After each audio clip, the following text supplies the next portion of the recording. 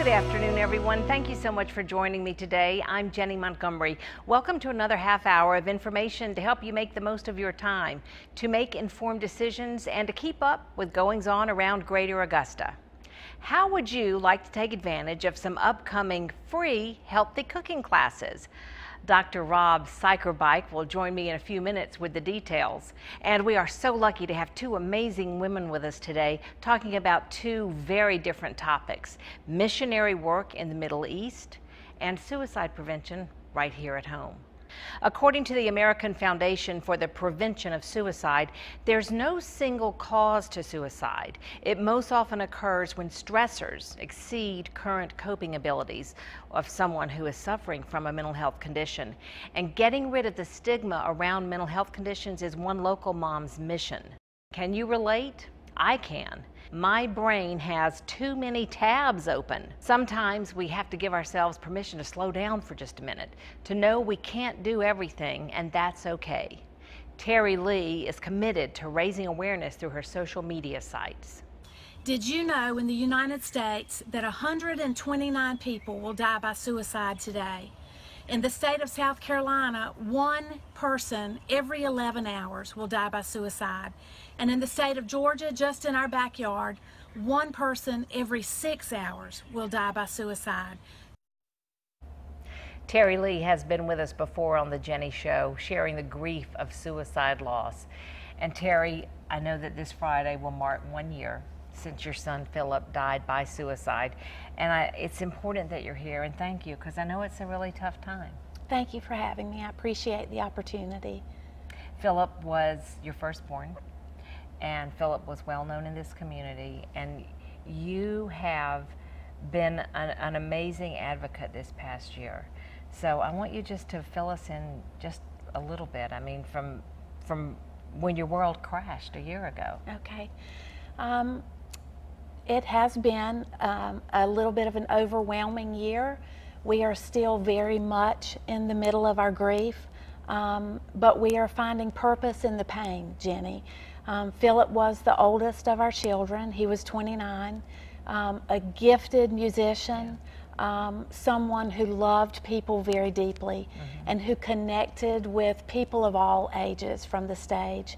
And so we knew Philip was struggling, uh, some with a substance disorder, but we did not realize the extent of how he was struggling um, with some of the depression and some of the things that were going along with the substance disorder, with the extent of the alcohol that he was using to try to help cope with right. the things that were going on in his brain.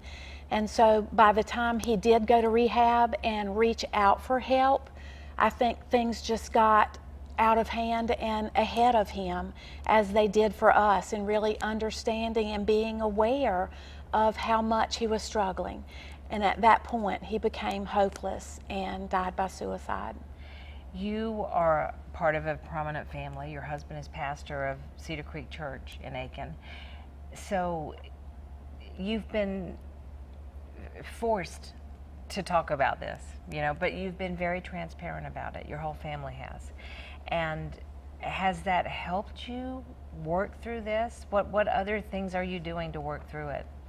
We we are a very public family. Right. Um, just because my husband is the pastor of a large church in this area, we have really chosen. I have chosen as a mother and as a nurse to make um, what we have gone through as a family and to make our loss and the loss due to suicide, um, to pull that out into a public arena because of the stigma attached to mental illness, because of the number of young people um, who are dealing with substance use disorders, and because of the amount of pain that's out there. And so I believe with all my heart that God takes us through the things that we go through so that we can help comfort others and walk with them when they are dealing with great pain.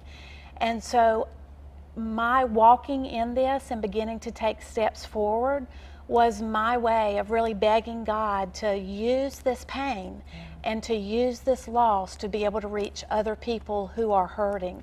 So we were forced, but we weren't forced. It's a it's an option that I had and we are just choosing to step out and do that.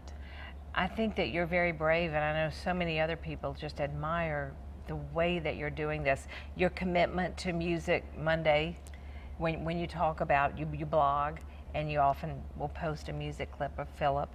Um, the other thing that I think is just incredible that you've done, you are a nurse. You know, this you have a medical background, but you have become very involved in being a mental health first responder. Right.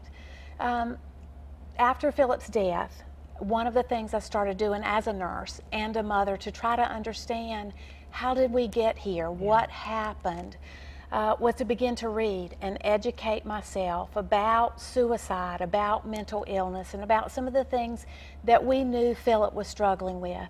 And so, in doing that, I became aware of some of the statistics out there regarding mental illness. One in five people in any given year will be diagnosed with a mental disorder. And that that was staggering to me to know that right. it is that common but to also know the great difficulty that people have in discussing mental illness or in reaching out, admitting that they are struggling, and asking for help. And so I knew that that's the wall that I wanted to help punch through yeah. so yeah. that people would begin to say, I'm not okay and I need help. And because I do think that that's one of the things that Philip struggled with was admitting that he needed help you have a foundation, Overflow Foundation. And I love your hashtag, which is hashtag Phil. Right. And that's an acronym. Right. So Overflow Foundation, we came up with that name. Actually, my daughter, Emily, came up with that name. Overflow is the name of Philip's first CD release with all of his music on it. That is available um, on YouTube or on our Overflow Foundation site. Um, but the hashtag Phil. Phil is in memory of Philip, of course, but it's also standing now for something even larger than that, and it stands for pouring hope into life, which is exactly what we want the foundation to do on a daily basis to let people know that there is hope and that there is recovery in the things that they're dealing with. And one of the things that your foundation is going to be involved with, and it's an important event coming up, we want to show you on the screen right now. It's coming up next Thursday, September 12th, and it's it's called It's Time to Talk About It. And it's presented by the Aiken County Coalition for Suicide Prevention. Again, Thursday, the 12th of September, 11:30 in the morning at the Aiken County Government Center. Tickets are $20, and then that's going to include your lunch. Um, the number to call for more information or I guess to make reservations would be 803 641 4164.